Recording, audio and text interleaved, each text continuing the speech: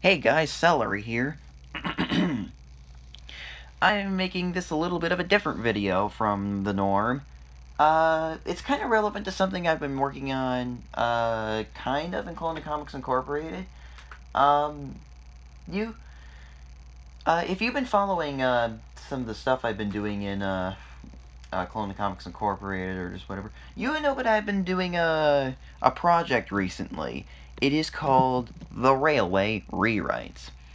Now, this is a Thomas the Tank Engine fanfiction, and basically what it aims to do is take everything from the Railway series, Thomas and Friends UK, and Thomas and Friends US, including this, uh, and well, uh, and to basically just mash it all together into one giant connected storybook. And, um, my main reason for doing this is, is, uh, mostly because I've just been kind. I've actually literally, I don't use this word often, but I've literally been just cringing at just how bad some of the some of the late these the new, this newer Thomas stuff is. I mean, I've been uh, I haven't really watched Beyond Series twelve, um, for a while, and just recently I finished Series thirteen and fourteen, and um and I'm on uh, season fifteen right now. But it's just so bad. Like, ever since Christopher Awdry retired, ever since Wilbur Awdry died, uh, Miss, uh, Christopher Awdry retired, and Britt Allcroft and David Mitton left the development team, or not development team, but just production team. It's just become freaking crap, and I basically wanted what I aim to do is just kind of fix it. And to sort of give an example of that, I recently rewrote all of Calling All Engines. Um, I don't know if there's any deleted scenes.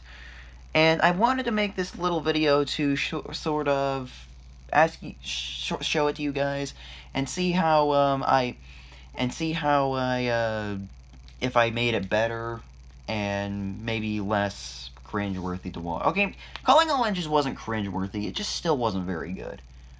So basically what I'm going to do is I'm going to read what I wrote aloud and I want you guys to judge it in the comments. It's in a Google Doc, so there won't really be any, uh, any imagery. So, sorry, this isn't a picture book. So, what do you say if we get started? Let's go.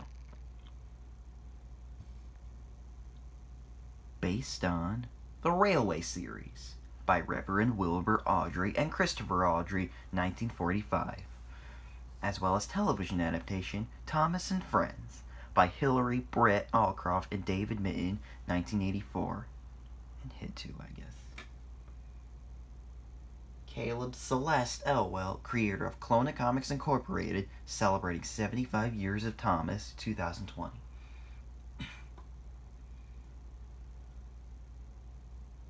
The island of Sodor is surrounded by the ocean it has fields of green and sandy yellow beaches. There are lots of trees where the birds sing. There are windmills, a coal mine, and docks where, visitor, where visitors to the island arrive. The island also has lots and lots of railway lines. Who's that puffing down the track? Thomas, dear, are you daydreaming again? Annie spoke up. Oh, cried Thomas. I am, sorry. Ah, but don't daydream for too long, too long, love, said Clarabelle. After all, it is summertime, and summertime is a busy time for the railway. That's right, replied Thomas. We best get the Brendam docks. The sun was on the horizon as he went. Thomas quickly arrived at Brendam docks, where there were lots of people waiting. James is now arriving on trap one. Please stand clear of the tracks on the bricks behind the cement walkway, said a guard. Please do not attempt to board this train until it has come to a complete stop. There will be only one more trip today for each train arriving at Brendam Docks. Again, please do not attempt to board these trains until they have come to a complete stop. For the seaside route, please board the train of James the Red Engine. Wah wah. For the windmill route, Emily the Emerald Stirling Engine will arrive shortly on track 3. For the Sodor Suspension Bridge route, please board Annie or Clarabelle of Thomas the Tank Engine. Eager passengers boarded Annie and Clarabelle, as well as James's coaches. And Thomas, as usual, took the visitors across the Sodor Suspension Bridge. Once nightfall came, he let the passengers off at their stop. The railway closed for the night, and Tom and Thomas puffed back to Tidmouth Sheds. Once he got there, Gordon slid in as well. Whew, I'm so happy to finally rest my wheels. My boiler got so bubbly today, said Henry. I'm glad to finally cool it down. Oh, you should have seen what happened at the seaside today, said James. We saw a whale. It was so close to the shore it was almost scary. Don't get too comfortable, you guys, said Edward. It's summertime, and we're going to have a lot of visitors now. So the steam team went right to sleep, all warm and snug in their shed, although Edward looked like he was having trouble sleeping. When the sun was rising, there was a sound of a car driving. Edward's eyes suddenly shot open. Sir Topham Hatt is here, he exclaimed. Everyone wake up and present yourselves. The six of the eight famous engines all burst out of their shed as the fat director, fat controller, Sir Bertram Topham Hatt IV stood before them. Good morning, everyone, he greeted. It's good to see everyone awake and... Percy! Mm, said Percy. I'm awake, I'm awake. As I was saying, I have an important announcement to make, said the Fat Controller. To have more transportation access from other places with the Northwestern Railway, we are having a new airport built. An airport with real airplanes? said James. Indeed, Bertram Hatt said proudly. I'll, it will bring more visitors to the island than ever before. We'll get to see airplanes, squeaked Percy. And think about all the people we can bring around the railway, said Thomas. We're gonna be so busy, busy, we'll get so dizzy, dizzy, chuckled Edward. Hey, nice alliteration, replied Henry. I think that would be wordplay, corrected the fat director. Now then, off to work with you, each of you. Yes, sir, they all said in unison, and they all puffed on. Thomas and Percy collected some flatbeds full of timber and wood. The workmen told them the location of the airport. Once they were there, they saw the skeletal structure of what was soon to be the airport. Wow, it's bigger than I thought it'd be, said Thomas. Mm-hmm. I can't wait to see the planes fly around, giggled Percy. Think of the sheer amount of vacationers we'll have now, said Thomas again. Never mind the vacationers, I want to see the airplanes. But as they were admiring the building site, all of a sudden, smack! Thomas and Percy got bit from behind and their eyes spun. These sticky steam engines are blocking the way again, said a familiar voice. Get out of the way, demanded another. Why can't you just work somewhere separate from us? Ugh. Just go away, Harry and Bert, said Thomas. Yeah, we didn't want to work with someone who bashes us to get moving anyway, agreed Percy. And they both steamed off with their loads. That afternoon, Thomas was puffing around to the yard where he was going to collect more timber. Dirty diesels, he grumbled. I'll show them. But when Thomas arrived at the yard, he was pretty shocked to see Harry and Bert were right there. What are you doing with my timber? asked Thomas. You were too slow getting here, said Bert, so we got here before you and they gave us the job instead. Besides, this job is way too important for any steamy, added Harry, and just too slow paced for them to complete in any reasonable amount of time. Hmm. Thomas was cross. He said nothing and just moved forward. Ooh, I have an idea, he murmured. A very naughty idea. And Thomas changed onto the track Harry and Bert were on and snuck up quietly behind Bert. Just as the worker would begin just as the worker on the crane began to move the last load of timber onto the flatbed, Thomas quickly rushed forward and ran Bert from behind. Oof! cried Bert, and then the timber was dropped right on his roof. Ow! Thomas, what the heck? the workman said angrily. But Thomas didn't care. He was feeling very pleased with himself. See, now you'll be late for your important job, laughed Thomas. That will show you to ram us with your trucks and insult us. and he puffed away laughing. Since Thomas couldn't do the job with the timber, he instead went to the other yard where he saw Percy pushing the freight cars around. Hey, Thomas, said Percy. Did you get the timber to the airport? No, Percy. Harry and Bert took it first, said Thomas, so I gave them a bump and it made them late. Ha! I hope they learned a lesson there, laughed Percy. Come on, shunt with me, Thomas. So Thomas did. He went off up and got some freight cars of his own. Whee! Thomas and Percy were having a merry old time with the freight cars when Thomas heard an engine behind him. Not the engine himself, but the engine's engine. That engine happened to be Devious Diesel. Oh, hello, Diesel, Thomas greeted, as always, just trying to be nice to him. Don't you play all small and innocent, Diesel oiled as he cleared his throat. I hear you've been causing trouble for Harry and Bert. Well, well, that's what they get for hitting me and Percy with their loads, Thomas remarked. Think about that. Ha ha, very funny, Diesel replied.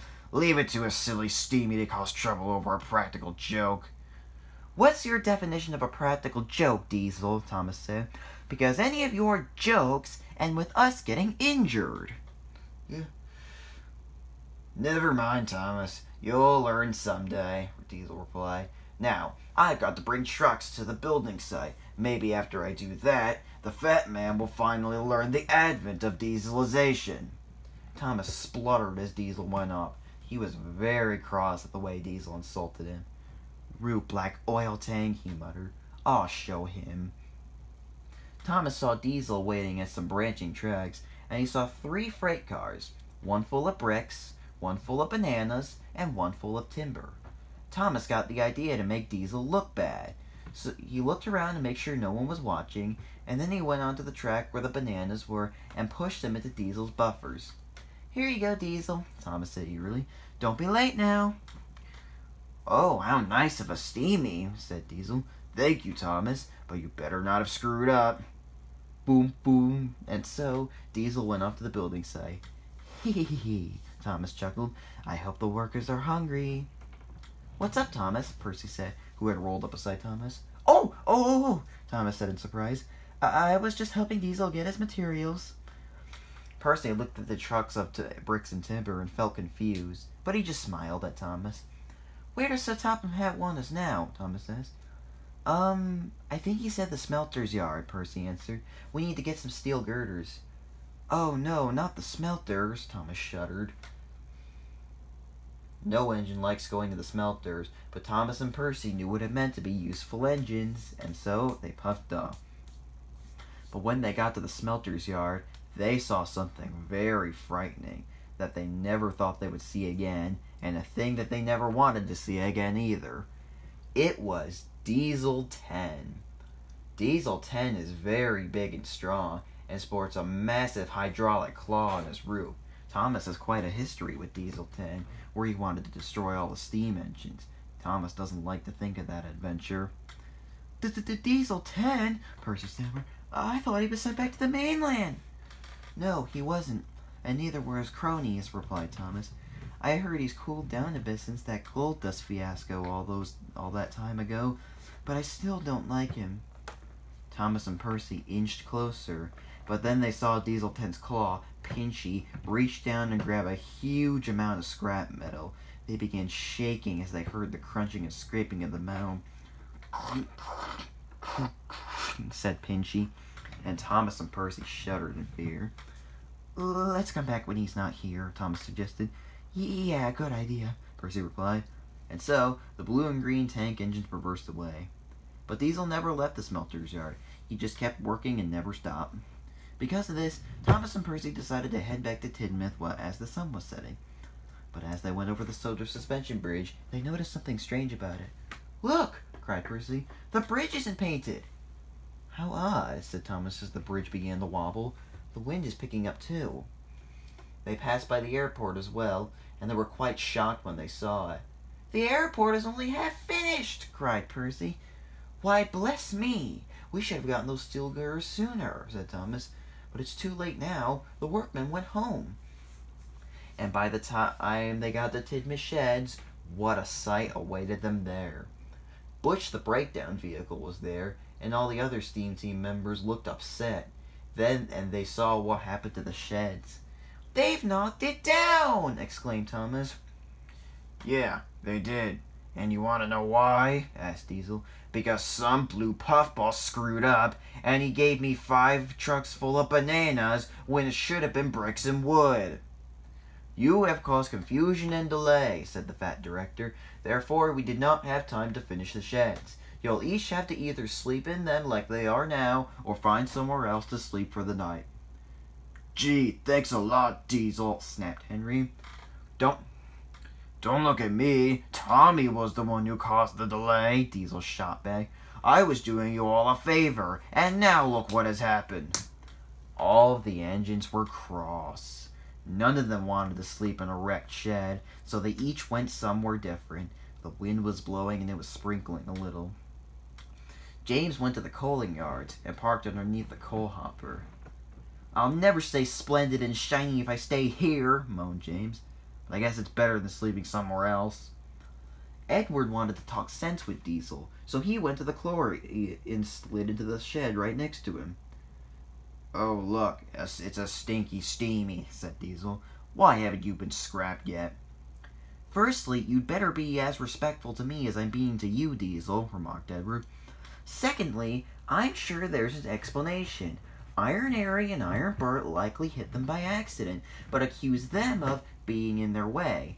They made Thomas and Percy mad and made them want to pay them back. Diesel didn't say anything and just looked away from Edward, which was just fine with him because he didn't want to look at Diesel either. Henry and Percy went to the smelter's yard. I don't like it here, exclaimed Henry. If I break down, they might scrap me by mistake. Relax, Henry. They won't do that, soothed Percy. I hope. Gordon slept under a pre-built tent next to Tidmouth sheds. Oh, the indignity, grumbled Gordon. Oh, be quiet, Gordon, said Butch. Only Toby was nice and snug in his cozy shed, the same shed he slept in back in the old days of Arlesdale. So I heard there was an incident with the big sheds in Tidmouth, Toby, said his friend Hilbert the Green Bus. Toby, dear, whatever happened? asked Henrietta. I don't know. I wasn't there when it happened, but the others of the group were frantically running around looking for a place to sleep, replied Toby. I would have gladly shared our shed, but it's much too small as you can plainly see.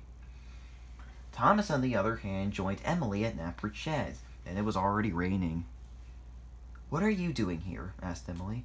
I've been enjoying the days where Arthur, Murdoch, and Salty and Harvey aren't here. I'm sorry, Emily. I just feel really bad, replied Thomas miserably. I only wanted to teach those dirty teasers a lesson for what they did, and I ended up confu- causing confusion and delay in the end. Oh, pipe down and just go to sleep, huffed Emily. Don't worry. I'm sure if I fix everything, eh, fix things up just right, surely I'll be back in Tidmouth Sheds by tomorrow. Emily just looked on as the doors closed. It was quiet in the sheds until the wind started to be heard from outside. The doors to the shed wobbled. Oh dear, groaned Emily. Are we going to have a big storm like we had like the one we had a bit ago? I sure hope not, sighed Thomas. That storm was annoying to clean up. Well, whatever the case, I'm afraid to go out there, said Emily. She could hear metal clanking outside. Gordon was still under his tent, but suddenly the fierce wind blew the tent away. Bother, growled Gordon. The other engines were grateful that they had a roof to keep them from the rain, but they were worried. A piece of cloth smacked right into Diesel's face, and Edward chuckled. The smelters at least keep us warm, shivered Percy as a tire rolled up beside him. I just hope that we'll be safe here. Each engine could hear something in the distance. It sounded like something collapsed and crumbled. Everyone made it through the night just fine, but when Thomas woke up and the doors opened, he was shocked. Bust my buffers! cried Thomas.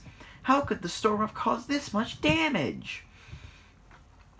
Thomas puffed all around the railway on the dark and cloudy morning. He could not believe his plastic eyes. Trees had fallen down, big ones.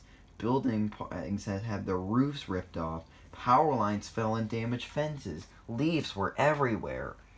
Thomas passed by the airport building site. Well, at least the structure isn't damaged, relieved Thomas, but the site is a complete mess. Thomas started going towards the Sodor suspension bridge, but as he approached it, he thought there was something strange about it. But as he got closer, he gasped and he slammed hard on the brakes and came to a stop. Fizzling fireboxes! The whole bridge collapsed! cried Thomas. I, I have to warn Sir Top Roller. Thomas felt worse than ever. He couldn't even structure a sentence properly. He just puffed away slowly back to Knapford. He returned to Knapford Sheds, come to find out that the fat controller, Sir Topham Hatt, had called the engines to the Knapford station. Thomas went there, and as expected, there were no passengers for trains. He could see Sir Topham Hatt was very upset. The building was delayed, and the storm certainly did not help. We're going to have to work extra hard today, he said sadly. If we cannot mend things in time, we may not be able to have any holiday makers or vacationers. Yes, sir, the engines all said sadly.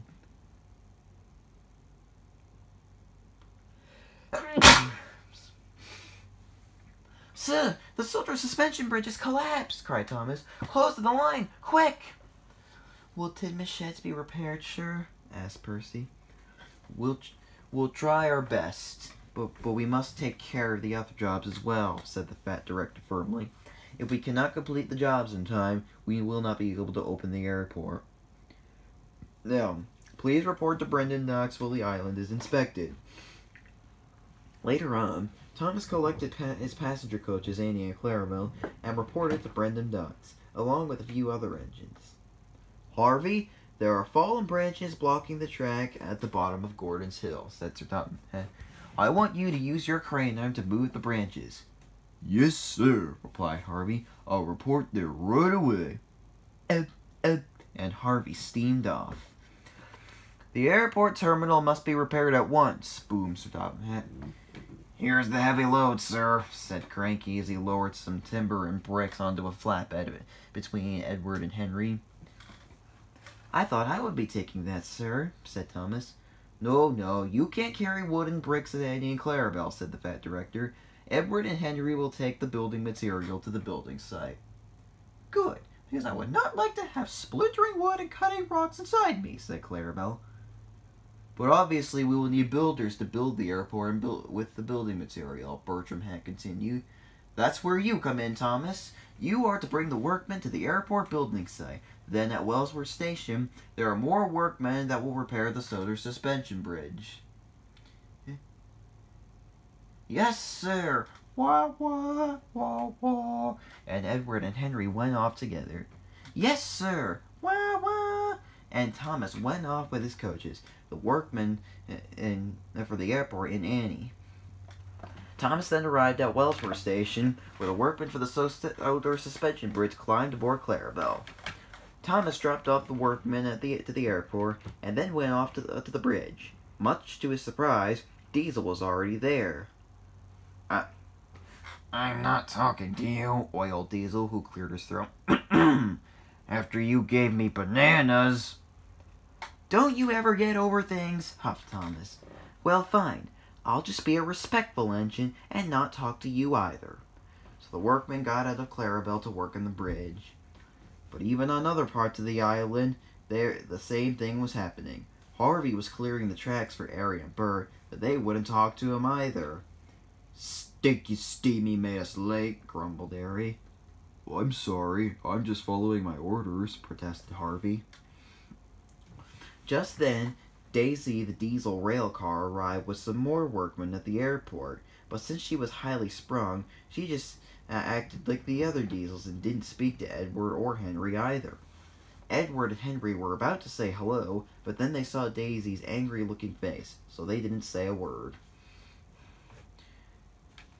Throughout the whole day, the Steamies and Diesel just, just would not speak to each other. Gordon passed by Diesel, and he didn't speak to him. Percy passed by Harry, and he didn't speak to him. Even Toby and Henrietta wouldn't speak to Bert when they moved alongside him. Thomas wouldn't speak to Diesel 10. Oh yeah, Diesel 10. Thomas almost ran into him that afternoon. Diesel 10 was helping clear the tracks by moving the metal that blew onto the tracks into, the, into trucks. P Pinchy looks stronger than I thought he did, Thomas shook nervously. Thomas... that Thomas didn't want any confrontation with Diesel 10, so he rushed away as fast as he could, but he could still feel the pinchy graze over his cab. that evening, Thomas was puffing the Knapford shed. He wasn't looking where he was going when clank. Oof. Hey, watch where you're going, Chevy, said a dumb sounding voice. I'm sorry, I was just. Thomas was shocked to see that he had bumped into a purple diesel. I'm sorry, I was just on my way to the shed I'm staying in, said Thomas as he went into a small siding to let the diesel through. Fancy bumping into us at this hour, said the purple diesel. Yeah, what time is it? said another diesel behind him. I don't know. I don't have a watch on my buffer, said the purple diesel as they went up. Oh gosh, not these guys again, Thomas sighed, but he kept going anyway. He slid into the shed with Emily. I met Diesel 10 at the suspension bridge. He I met Diesel at the suspension bridge, and he almost started fighting with me again, he told Emily. And I, and I saw Diesel 10 again. He's horrifying. Who is Diesel 10? asked Emily. You're afraid of 10 diesels together? No, no. He's big, and he has a claw, replied Thomas. I don't know him all that well. He came to the island long ago, before you even did, and Oh, just be quiet and go to sleep, wheezed Emily. I can't wait until you're back in Tidmouth. So Thomas did, but as Emily closed her eyes, whew, whew, whew, Emily looked up and saw that Thomas was sleep whistling. She's never seen that before. He must have forgot to shut off steam or something, said Emily. Thomas! Thomas! But Thomas didn't hear Emily. Emily was annoyed, so she rolled outside and parked herself further away from the shed. The next morning, Thomas didn't have any orders from Sir Topham Hatt yet, so he just shunted some coal trucks for the time being. Eventually, Sir Topham Hatt did come, and he had an order for Thomas. Good news, Thomas. The news section for the suspension bridge has arrived at Brendam Docks, he boomed. You are to collect it and bring it to the bridge building site. Yes, sir. I'll be there right away, said Thomas as he unbuffered from the coal trucks. But just a warning, it is quite heavy, warned the Fat Controller. If you need help, just whistle and another engine will be there to help you. Boom, boom. But of course, Diesel came up with a bone to pick with Thomas. A diesel like a diesel smaller than you wouldn't need help, remarked Diesel, but a steamy would. Diesel, enough! snapped the fat director. Go help Daisy at the airport. Oh, yeah, because you're the world's strongest engine, laughed Thomas. Ha, silly stick in the mud. Well, I'll show you. I can get the section all the way to the bridge myself. Ha ha. Tommy, I would love to see you try. Boom, boom, mocked Diesel as he wailed off. Ha, anything Diesel say they can do, we Steamies can do just as well. Wah, wah. And Thomas puffed off as well. Thomas arrived at Brendam Docks, but then he saw the section. Wow, that does look heavy, worried Thomas. Look how big it is. Thomas buffered up to it and began to push it, but it was very, very heavy. He pushed and puffed. He huffed and chuffed. Do you need some help, Thomas? asked the workman. We'll call Derek to help you. No, grunted Thomas. I said to Diesel that I would push it myself. At last, he got used to the weight and he began to push it ever so carefully. His load was very strong and very heavy, and the challenge became harder as he puffed up Gordon's Hill. His pistons pumped, and already his axles ached. Maybe I will need Derek's help, said Thomas. Uh, no, I will not be held back by his teething troubles. Thomas arrived at a three-track junction. He couldn't see what was ahead of him too easily, so he just went on one way first. As he went down the track, he felt the load getting heavier and heavier and heavier to the point where he couldn't push it. Whoa, whoa! exclaimed Thomas, but his wheels just slid on the rails and he, and he slid all the way down. It turns out he went up a hill steeper than Gordon's Hill. Ugh, I'm going to avoid that, sighed Thomas, who then went down another track. He felt the bend getting really tight. to where he felt like the section might come off the rails if he wasn't careful. So he reversed again and went down the last line. Ah, that's better, he said, he said as the trip ran smoothly. It took a little longer than Thomas would have liked, but finally he reached the Sodor suspension bridge. Harvey was moving some things around, while Diesel was there as well. Whoa, Thomas, said Harvey. I knew you were strong, but I didn't think you were that strong. Not bad, Bird Diesel, but the bridge needs to be lowered into place. I will be the one to do that. No, no, let Thomas try, said a workman. He brought the section here all by himself. That already proves how strong he is. Well, I, I, I, I can do it, boasted Thomas. And I'll show you that I'm the new world's strongest engine. Not that you were to begin with.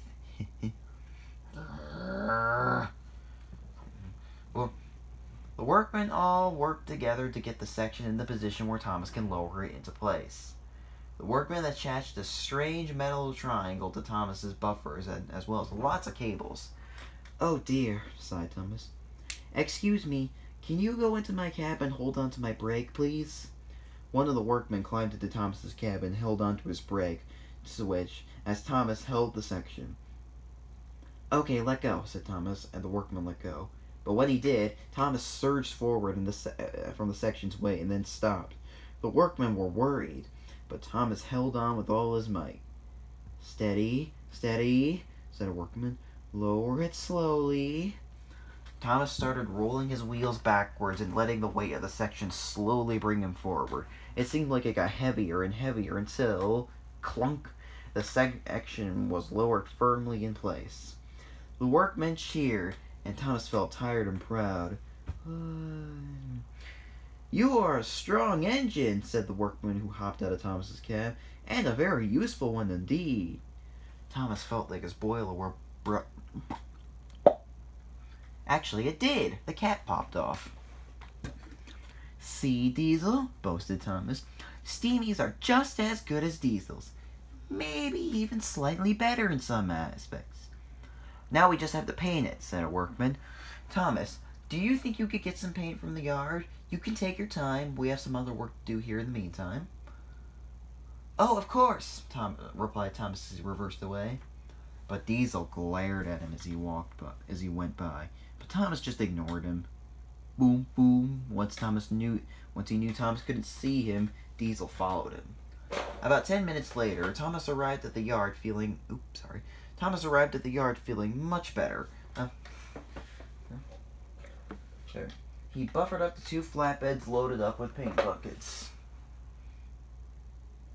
But little did he know, Diesel had followed him and was right behind him. So you want to act all high and mighty, huh? Huh? Diesel whispered. Well, I'll show you, you stinky steamy. Wah, wah. Thomas began to move forward, but went, but, but but suddenly Diesel lunged forward and BAM! Diesel smashed right into Thomas's flatbed. The paint bucket surged forward, and the lids came off, and green and yellow and red paint splattered all over Thomas. Thomas felt most upset as he felt a stream of yellow paint drizzle down his forehead and nose. Stripy boiler, laughed Diesel as he began to reverse away. You better get that cleaned off before it dries. Diesel, spluttered Thomas, but Diesel was already gone. Thomas shook in anger. He had enough of these Diesels' torment. That does it, he growled. Next Diesel I see, they're gonna get a big wallop. Thomas couldn't bring the paint to the workman now, so he looked around until he saw Ari and Bert in front of a pile of sand. Uh, excuse me, just until he saw Ari in front of a pile of sand. Hey, Ari, what you doing over there? asked Thomas. Who? Me? replied Ari. I'm just waiting for Bert. Oh, you are, are you? replied Thomas as he began to move forward slowly. Hey, is it just me or do I smell wet paint? asked Ari. Oh, don't worry, it's not you, said Thomas as he lunged forward. It's just the smell of your ultimate karma! Ha ha ha! Thomas biffed hard into him and pushed him straight through the pile of sand off the rails. Ooh! cried Ari. he spit out sand in his mouth. Ari did not take kindly to this. That's when the madness began. Ares saw James filling trucks of coal, and he biffed into him where the coal fell all over James. Soon enough, the Steamies and Diesels were actually fighting. The workers were horrified. They've never seen the locomotives do this before. Gordon hit Bert into a pile of dusty wood. Diesel hit Toby into the tipper's loading ramp. Toby was hoisted up, um, and he fell right into it and his eyes spun. Emily hit Diesel into a dark shed where he smashed. Henry Henry was stopped in front of a broken oil pipe that was leaking oil everywhere, and of course, Bert came up behind him and, and hit him right into it. Henry got covered in oil. Henry pushed Daisy all the way down the tracks until he pushed her right through the buffers and off the rails. Steamy smashing Diesel, Diesel smashing Steamy. It was madness. This went on until oh, it all stopped at the sound of a, lo- a loud voice. Stop this madness now! By then, all the engines were in a mess, and all of them needed a washdown. Very little work had been done, and Sir Topham Hatt was most upset. I'm very disappointed in all of you, he said sternly. No, the holiday makers will be delayed even further. Don't look at me. That guy started it, protested Thomas as he gestured his eyes over to Diesel. He hit my paint car, said. I do not care who started it, said Scott Matt crossly. You all have caused major confusion and delay. The bridge isn't painted, and we will not be able to open the airport. Everyone was miserable. Now, Thomas, I am of course proud of you for getting the section all by yourself, he said again. But when you pay someone back for doing something to you, there will be no end to fighting. I hope all that happened today had taught you a lesson. Yes, sir. Sorry, sir, sighed Thomas. No vacationers. No airplanes, cried Thomas. cried Percy. And now you will never move out of my shed, moaned Emily. Oh yeah, I forgot about Tidmouth sheds too, sighed Thomas. For the rest of the day, the workmen had to spend it washing the engines, and by the time they were finished, it was already nighttime. Each engine was sleeping in their respective places, but they all felt overly paranoid. I can't be useful like this. If I am useful, what if... What if the Fat Controller turned me into a funfair attraction, said James. The children would play me, and even he would too. No one would ever see my splendid red paint again. What if the Fat Controller used my large size to make me into a playground or something, said Gordon. Dear me, that is a new level of indignity. What if Sir Topham Hatt turned me into Gosh, the only thing I can think of is a scarecrow, sighed Edward. I don't want to sit in a cornfield for the rest of my life. Would Mr. would Farmer McColl even care? Henry, I'm worried. What if Mr. Hatt made me into a roller coaster? cried Percy. Just imagine me going up and up the rickety rails and all the way down again. Percy and Henry were shocked. Bust my boiler! wailed Thomas's voice. Wailed Percy as his voice cracked. That sounds kind of fun, actually. but even with all these possible outcomes, the engines could all agree on one thing it's better than being scrapped. The engines may have had some bad dreams that night, but Thomas just couldn't sleep. As the dawn beginning was began to rise, his eyes were open and he was tired. Are you still awake? yawned Emily. You haven't said a word all night.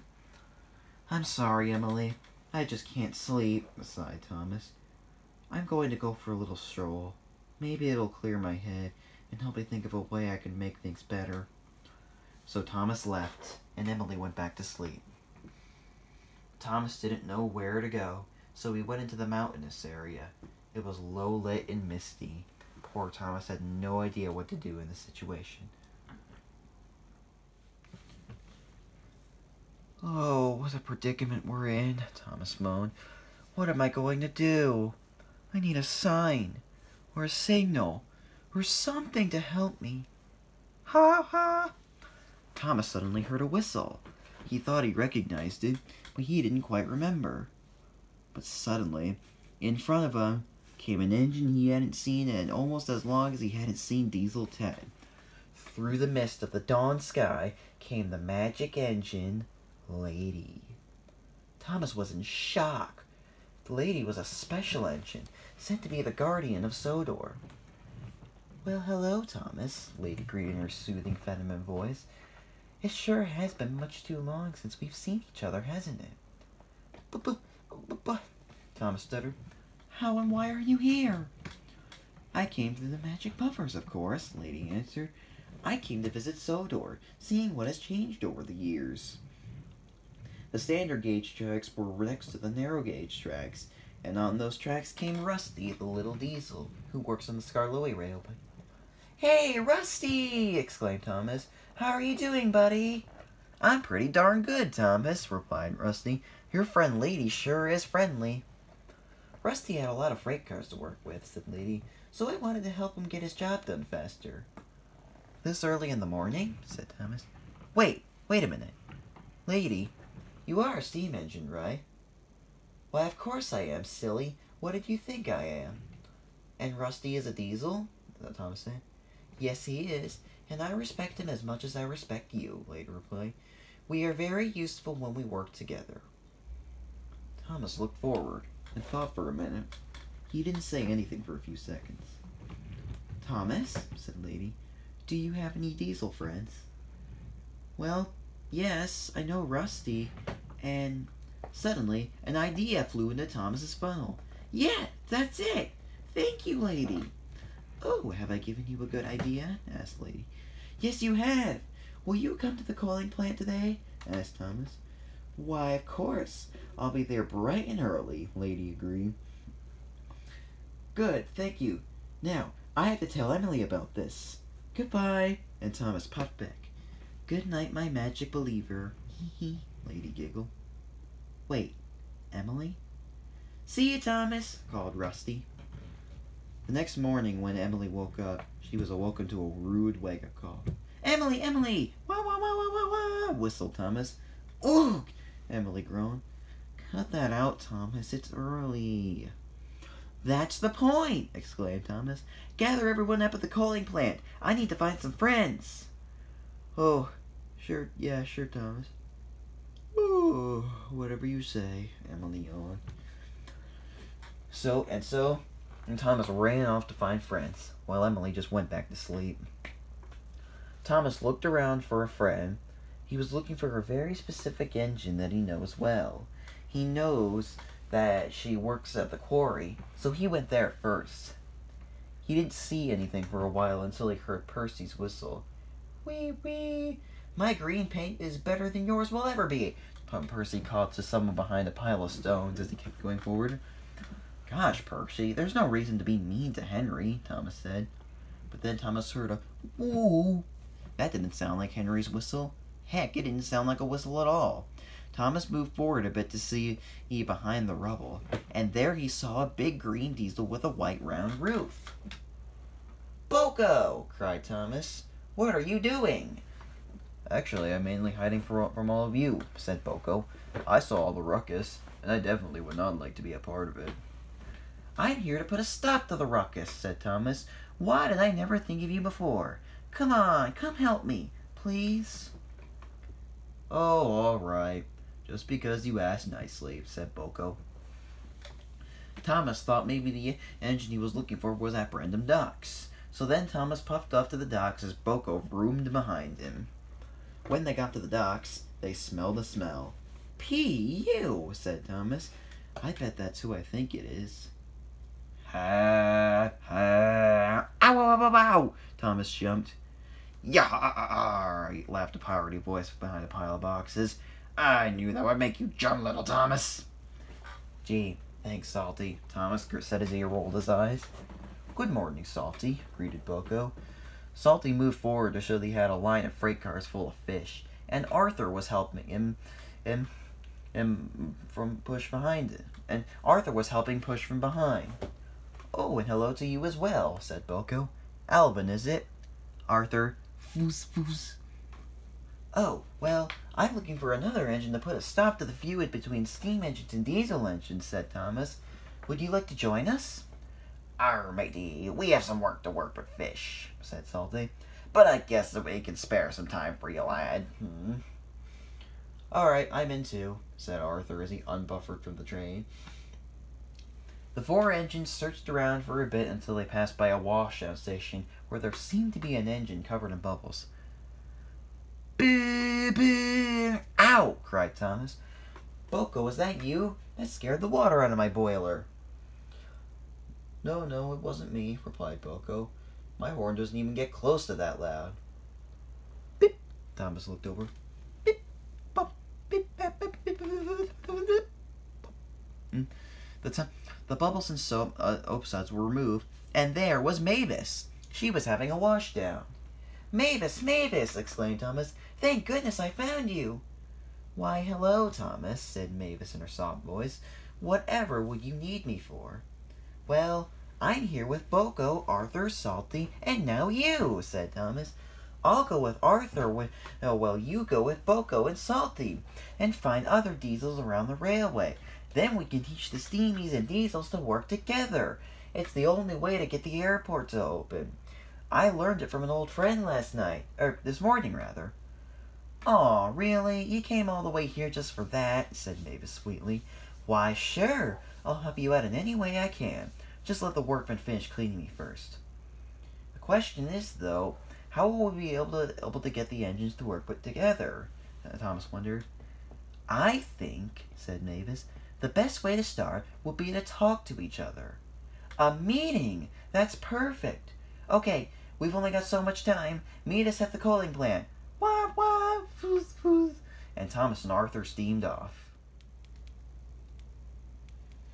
Thomas and Mavis told the other engines around the railway about the meeting. Calling all engines, calling all engines, called Thomas. Calling all engines, calling all engines, called Mavis.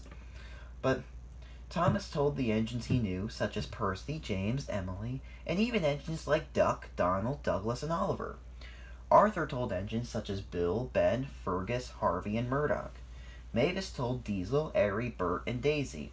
Boko told Barry, Ernest, and Bear. Salty told Derek. Soon enough, a lot of engines were informed about the meeting, except for one. Thomas thought about telling Diesel 10 about the meeting, but he was still frightened by Pinchy. It's okay, Thomas said as he reversed away. He probably wouldn't work with any steam engine no matter how much persuasion he got. Soon enough, all of the engines had arrived at the coaling plant, the steamies on one side and the diesels on the other. A total of 28 engines arrived at the coaling plant, excluding Thomas. The yard manager was confused. Why are all the engines here at the same time? he asked. Thomas wants to hold er, a meeting of sorts, said Edward. Speaking of which, where is the little youngster at? The yard manager was concerned, so he went to telephone the fat director. Hey, look, it's Spam Can again, chuckled Henry. He... Watch it, you green caterpillar, shouted Ernest. And the name is Ernest, thank you very much. Well, my name, well, my name's Henry, Spammy Candy, Henry shot back. All right, now you're asking for it, Ernest growled as he began to move forward. Boo, boo, enough, shouted Mavis. Look, Thomas should be here shortly. Just wait a while. Meanwhile, Sir Topham Hatt was in his office about to eat a cream donut. He bit into it when suddenly the phone rang and the starter splattered the cream out of the, under, the other end of the donut. He wiped his face and answered the phone. Hello, Northwestern Railway Office, Sir Bertram Topham Hatt the Fourth speaking. Yes, this is the coaling plant yard manager, said the manager. Apparently, a lot, and I mean a lot, of engines have arrived at the coaling plant all at the same time. Are they? The Fat Controller spluttered. I shall be there at once before an even bigger fight ensues. And so he grabbed his hat and donut and ran out the door. Trust the Steamy to be late, grumbled Bert. Yeah, this whole mess is the Steamy's fault, agreed Airy. Why aren't we just ramming into you right now? We did not start anything, Percy shot back. You hit us first. You got Thomas covered in paint. You started it. Bert, Bert's wheels began to roll like he was about to ram into Percy, but suddenly, wah wah, Thomas suddenly bustled into the yard, and Bert stopped in his tracks. I'm here, I'm here, he panted. We just need to wait for one more. Um, who, Thomas? asked Percy. Ha ha! Out of nowhere, Lady came rolling in beside Thomas. Oh my, said a few engines. Oh, Thomas, there's some more diesels as well, said Thomas. I found these two just wandering around. The same purple diesel and green diesel old Thomas saw yesterday rolled up. Oh, I remember them, said Percy. Uh, Splodge? Actually, the name's just, it's just Splatter, said the purple one. And, and Dodge, said the green one. Anyways, yes, this is a lady. I suspect some of you remember her, said Thomas. She's the one who taught me that, that steamies and diesels need to work together. Work with the steamies? scoffed Barry. We don't want to work with the stinky steamies. Oil Diesel, who proceeded to clear his throat. and we don't want to work with the dirty diesels either, huffed James. You don't smell too good yourself, said Fergus. Well, you don't look so clean yourself, Daisy shot back. It's no wonder you run on coal. Ha ha! Enough, scolded lady. Don't you see? If we just keep fighting like this, it will just go nowhere, and then the airport will never open, said Thomas. Both steam and diesel engines need passengers and full freight cars to be useful. And if we can't be useful, well... Bert, Daisy, and Mavis looked at each other. Gordon, Henry, and Toby looked at each other. You know, I don't say this often, said Diesel, but I think he's right. You didn't say, Diesel, said Donald. We shall work together so the airport can get finished. I agree as well, said Montague, also known as Duck. After all, me and Boko are fair friends. Indeed, agreed Boko. We can't exclude each other based on our shape or our fuel type. Hey, yeah, said Bill. You keep us in order all the time, Mr. Boko, said Ben. Remember when we thought you stole our cars? Indeed I do, laughed Boko. You nearly made my eyes pop out. That's the great Western way to do it, smiled Oliver. Hey, you stole my quote, said Duck. Suddenly, they heard the whirring of Harold the helicopter, who landed beside the tracks. Good afternoon, locomotive, said Harold. I bring a figure of authority. Once Harold landed, the Fat Controller stepped out of his fuselage. Why on the wonderful island of Sodor are all of you here at the same time? he asked sternly. Well, I think that big fiasco we had yesterday did teach me a lesson, said Thomas. And we've decided that even though we're all different engines, we're all going to work together. We had a meeting so that we can settle our differences and work as a team.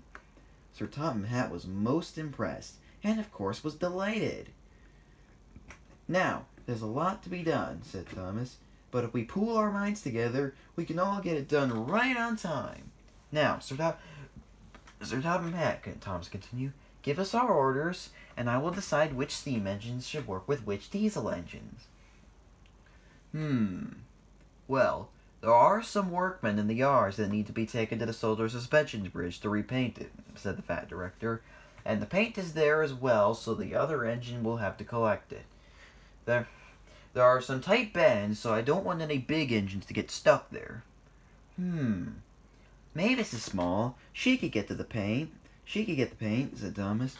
Gordon or Henry are much too big for that. What about you, Percy? You're short, and you can shunt around tight bends. Oh, yes, I like shunting around tight bends, squeaked Percy. You got it, Thomas, said Mavis. Good. And as for the workmen that are there, that's a no-brainer. Daisy can take them, said Thomas. Actually, Thomas, there are more workmen waiting at Wellsworth Station to be taken to the airport, said the fat director. Perhaps she'd be better suited for that. You know, you're right. In that case, Diesel, you could take one of my coaches to, to collect the workmen at the yard, said Thomas. As for Wellsworth, Daisy can collect them, as well as Toby and Henrietta. Uh, oh, all right. I've never taken a coach before, but I guess there's a first time for everything, sighed Diesel. wee wee! Boom boom. Mavis and Percy and Diesel all went to the off to the yard. Make sure you make her feel secure, called Thomas. Ding ding ding. Whap whap. Uh, uh, Toby and Diesel, Toby and Daisy went off. There are some supplies such as cranes to be taken around the island as well, says Sir Topham Hatt. How about Edward and Bear? suggested Thomas. Are you sure? Are you sure it's heavy enough to where it would need two engines? asked Edward. If it wasn't, Would they have asked two engines to get in? asked Bear. Eh, good point, said Edward. Let's go! Wah wah! Boom, boom! Edward and Bear went off. Now then, there are also carpenters to take to, to repair Tidmouth sheds, said the Fat Controller. Well, perhaps Gordon could take them with a coach or two, said Thomas. But what if I get stuck on the hill again? asked Gordon. I can't seem to break that habit. Well, I know Edward usually helps you, but we're trying to, trying to do the whole Steamies and Diesels alliance, replied Thomas. So maybe Ari and Bert can help you. Both of us, said Ari and Bert. Surely one of us will be able to push him just fine. Doubt it. Both of you are strong on your own, sure, but I don't think that strong, said Thomas. Actually, let's have some div- diversity. How about Ari and Splatter go? Huh? said Splatter. Oh! Uh, I can't say I've ever worked with anyone but Dodge before. Then that'll be perfect. Now off you go. Whoop, whoop. Gordon began to puff off. Ari and Splatter looked at each other before going as well. Uh, mm. Bum, bum, bum, bum. S- See, said Thomas. Steam engines and diesel engines work very well together. But I didn't get one yet, moaned Fergus. Oh, oh, of course, Fergus. We'll get you a job too. Don't worry, said Thomas. Come on, everyone, let's go. Well done, Thomas, praised Tom and well done, everyone. Wah wah, ha ha ha, wah wah. Later on, Emily and Bert arrived at the airport and were surprised at how complete it looked. Wow, it's almost finished, squealed Emily. Look at the yellow walls, said Bert. They're as yellow as your yellow stripes. Oh, psh, Bert, chuckled Emily. The other engines arrived as well. Do- Dodge, Ernest, James, Murdoch, Barry, Lady, and Salty. Look at the runway, said James. I bet Bertie would love to race Thomas on this. I don't say this often, said Barry, but I'm quite proud. You know what? I am too, said Ernest. Oh, I've got some good news, said a workman. There's a plane on the way right now to test the runway. Ooh, I'll go get Percy, said James. I know he really wanted to see the airplanes. Heck, let's get them all, said Dodge. Who, who wouldn't want to miss this? Hmm, Wah, wah, bam, bam. Wah, wah. Hold on, guys. I have more freight cars, said Tom. Called Thomas from behind. He had a long line of freight cars and was taking, taking care of going slow, but he couldn't know that Dodge was on the same track as him. Dodge, stop! cried Lady, but it was too late. Dodge didn't see Thomas, and he biffed right in with his freight cars. Bam! Dodge was derailed, and the freight cars went left off the tracks. Thomas quickly braked, but the freight cars went straight into the water tower. The other engines were shocked as more arrived on the scene. Percy, Edward, Airy, Splatter, Derek, Oliver, Duck, Donald, Mavis, and Douglas. Oh boy, said Dodge. Tong. Smash! No one was hurt, but the force of the water tower fall oh, then caused a huge crack to form in the runway. The runway is cracked, cried Percy, and the track is blocked. The manager inspected the damage. It can be repaired, he said, but if we can't do it in time, the airplane won't be able to land. Yep, there they go again, said Diesel. Once again, a stinky ste- Don't you start with that again, Diesel, snapped Edward. You know Thomas didn't do that on purpose. We put up with the stinky steamies all day. All day, growled Airy. And now look, that blue puffball ruined it all. Airy, fumed Emily, I swear to Topham, if you start insulting my... Quiet, demanded Mavis.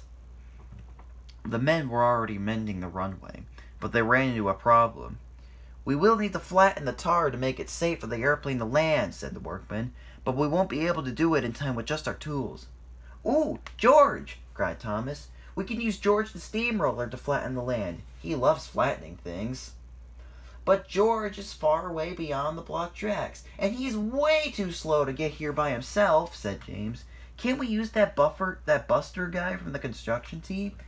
It's called the pack, and he's probably miles away to where we don't even know where he is, said Thomas. So the manager went inside and uh, to phone for help. Here, let me try, said Murdoch, and he tried pushing the red cars away. But try as he might, even Murdoch, who was arguably the strongest engine on Sodor, could not move the rubble. No, no, that'll never work, Thomas said sadly. I tried calling for Harvey, but he's on the other side of the railway, said the manager. There's no way he'd get here on time. I doubt he'd be able to clear the and I doubt he'd be able to clear the tracks fast enough. Thomas's firebox sunk. He felt like everything was his fault. Now we'll never get to see the airplanes, sighed Percy. But just when Thomas was about to give up, he blew a huge amount of smoke out of his funnel. Oh, oh, oh, I got it, I got it, he exclaimed. What, Thomas, what is it? asked Mavis. Okay, guys, please bear with me on this one, because it's going to take a while to get it, uh, Thomas said as he began to reverse. But don't worry, I promise this will work. Wah, wah, and Thomas ran off in the other direction. As he went, Thomas started questioning his own antics. Oh, cinders and ashes, why am I going to do this? he groaned. But only he will be able to clear the tracks quickly. When Thomas arrived at the bottom of Gordon's Hill, there he was, Diesel 10, moving branches. Thomas shook a bit hearing the crunching wood and thought that maybe he should just run like heck to get Harvey. But then he thought about the airport. Thomas crept forward, slowly, until he was right beside Diesel 10. Um, excuse me, shivered Thomas. Mm, oh, it's you. Now, what do you want, huh? I'm sorry, I don't mean any harm, said Thomas, but we've had an incident at the new airport, and the tracks are blocked. You're the closest one we can count on to clear the tracks. Really? You interrupted Pinchy's meal for this? snapped uh, Diesel. then. You're the whole reason I'm still stuck on this puffy island. You're the whole reason you're still alive right now. Thomas shook more, and he started to have some bad memories, but he didn't run and continued talking. Well, if you don't help us, then no vacationers will come to the island, said Thomas. And if you don't help us, then no engine will be useful again. I don't care about any passengers or vacationers or whatever. I'm not like that green flower bus on rails, growled Diesel 10. What's stopping me from scrapping you from a nut for a nice dessert for Pinchy right now? Face it, Diesel 10. I know we've had some hardships in the past, but that doesn't matter now, does it? Thomas continued to talk. And if you help us, you'll arguably be the most useful engine on the railway. You want to be useful, don't you? Hmm, fair point, replied Diesel 10. Alright, fine, I'll help you. Phew! Thank you, said Thomas. Just keep your voice down, please. Wah, wah! Bow, bow. And Thomas and Diesel 10 rolled off together. You want to be useful, don't you? Asked, uh, Thomas asked. Any engine wants to be useful. Well, I never really cared for it personally, replied Diesel 10. But I guess real being useful does feel satisfying. The steamies and diesels were still arguing when Thomas got back. The workmen were almost finished, and all the engines had arrived already. We need George, quickly! cried a workman. The rail, the runway is still too bumpy. Wah, wah! Bow, bow.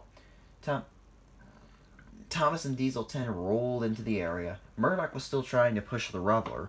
Harvey was there as well, and trying to help, but he couldn't go oh fast enough. Okay, everyone, I brought just that, Thomas said. But before he could uh, finish, Lady shrieked. Ah! Stay back! She demanded as she as she backed away. Lady, what's wrong? asked Emily. Look at this guy's claw. He can move the metal for sure. No, no, no. Keep that horrid monster away from me, Lady shivered. I, I refuse to work with him, so there. Neither will I, said Splatter. Yeah, me neither, said Dodge. Look, I'll explain later. For now, please calm down, lady, said Thomas. Diesel 10 isn't going to hurt anyone. He's just going to use his claw to move the rumble. Jump, jump, jump. sorry, sorry. Pinchy will move the rumble, rubble, corrected Thomas. None of the engines could believe their eyes when they saw Diesel 10. Thomas befriended the diesel who almost destroyed us? exclaimed Thomas. Wait, who is this again? asked Edward. Oh, little Edward, said Gordon, you have much to learn. Not before long, Pinchy began clearing the wreckage. Ow! Diesel 10 said as a, as a, a plate, metal plate fell on his forehead. Once the track has been cleared, Thomas raced off to get at George. Wah, wah! Not so scaredy now, huh? said Percy. He sure has been running around a lot today, said Emily. Thomas found George waiting at a low loader, um, on a low loader.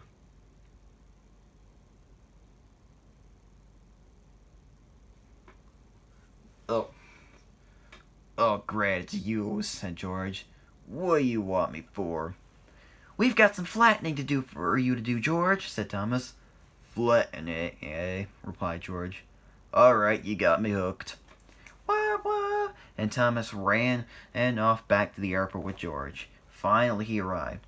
Okay, that is the last long run I am doing today, groaned Thomas.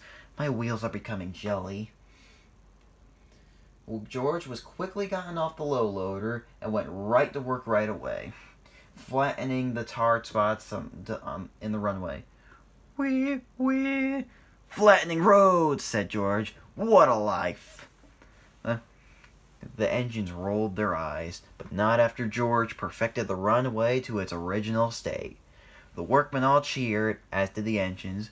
Whoa. Suddenly, Harold came with down Mr. Topham Hatt. The airport looks wonderful, guys, said called Harold. And the airplane will be here momentarily, said the Fat Controller.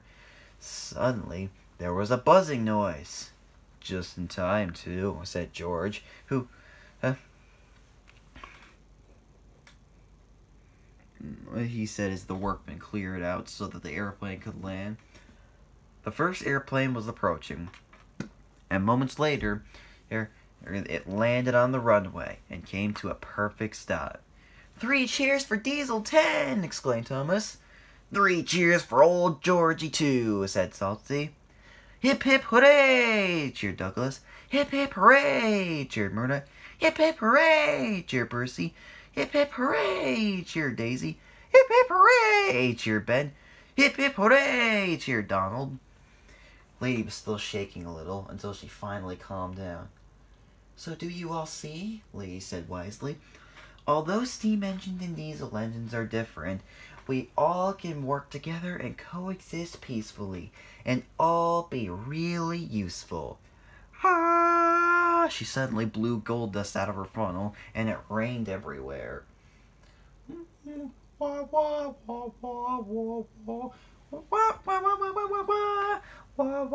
Wee, wee, wee. Dee, dee, dee. Wee, wee, wee, wee, boom, boom. Boo, boo, boo, boo. Wah, wah, wah, woo. Boo, boo, boom, boom. Boo, boo, boo, boo. Ha, ha, ha. Bum, bum, bum. Bum, bum, boom, boom, bow, bow. Bum, bum, boom, boom.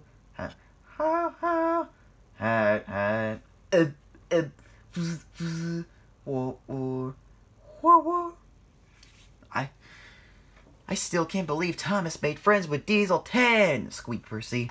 Oh, I'm not his friend. I only took his word so I could be useful, said Diesel 10. And really, it does feel good to help out a guy. But then suddenly, some vacationers came out of the plane. None of the engines expected this. But they said it was a test run, said Thomas. Yes, said Sir Topham, but it was still a way to reward all of you for your with your favorite job of all. Thomas and Emily looked at each other and grinned. So did the other engines. And Oh, I don't I don't carry passengers, said Diesel 10. I'm going back to clear the tracks. And so Diesel 10 went back to hide and throughout the rest of the short day, the engines showed the vacationers all around their favorite parts of the Northwestern Railway. At the end of the day, Thomas and Lady were watching the sunset together. Where are you going now, Lady? asked Thomas.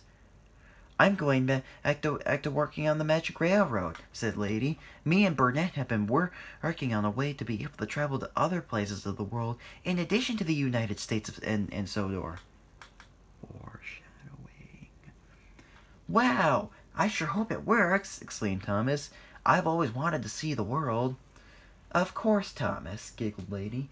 You are always welcome to travel on the Magic Railroad at any time. Oh, Thomas, called Emily. Oop, gotta go, said Thomas. It was so great to see you again, lady. Thomas arrived at Tidmouth with the other engines to see their home again. Hooray, the sheds are back, squeaked Percy. They look beautiful, said Henry. Better than they ever had before, agreed Edward. Humph, don't get me wrong. I am glad to be home, said Gordon, but I was actually beginning to like my tent. Emily, said the fat direct controller, you look upset. Well, I was starting to enjoy I was starting to enjoy something as well. Having Thomas's company really wasn't the same as Murdoch's or Harvey's or Salty's, replied Emily. I enjoyed hearing Thomas tell me about his day, and I even missed his sleep whistling. I've never heard Thomas sleep whistle, said Henry. Wait, said Percy. What is it, Percy? asked Thomas. Something is odd about the shed, said Percy. One, two, three, four, five, six, seven? There's seven sheds! Sir, has an extra one been built for Toby? asked Edward. Oh no, Toby is satisfied in his Arlesdale shed, replied the fat director. I believe his, his is made, a, made for someone special. You mean? said Thomas as all the eyes began to point at Emily. R really? said Emily. Oh, guys, you shouldn't have. Well, we've been kind of wondering what to do next after after Duck declined our offer. So, said Thomas, Emily, would you like to join the steam team? Emily did not know what to say. She just blushed bright pink and looked at Thomas with twinkling eyes. Yes, Thomas, I would love to join this steam team. Wee wee! Woo woo! Wah wah! Wah wah wah wah wah wah! That night, the engines were in the shed, and Emily made sure she was parked right next to Thomas. Steam locomotives run on water and coal, said Edward. Diesel locomotives run on diesel fuel, said James. I wonder what airplane locomotives run on, squeaked Percy. Oh, Percy, airplanes aren't engines, corrected Henry, because airplanes can't haul freight. Well, airplanes are always in, in the sky, said Emily. But you know what I think? Tidmouth sheds are the best place to be. Emily is right, said Thomas as he closed his eyes. Good night, everyone. Good night, Thomas. And the now seven members of the steam team all went to sleep happily.